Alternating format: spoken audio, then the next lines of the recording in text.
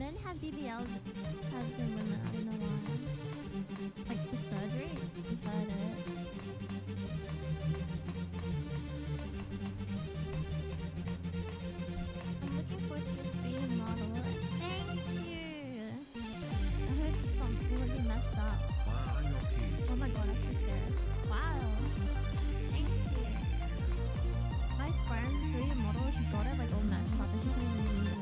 just had to pay extra.